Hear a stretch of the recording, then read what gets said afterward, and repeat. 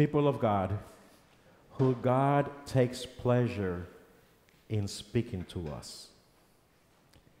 Listen to God. Notice that I did not use just the simple listen from hand speaking, from that signal, uh, sign, sign language, but listen is more profound.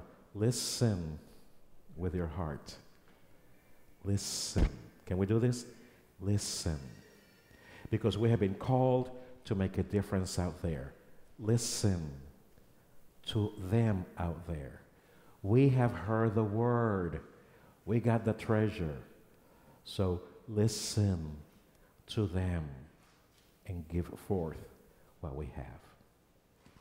And the grace of God, who brought us all together from darkness into light, the joy and love of His Son Jesus Christ, who is the light, and the Spirit who lives and reigns within us with that bright light will inspire you this week, will inspire the whole church, even into the small islands of the ocean. Amen. Amen. See you soon.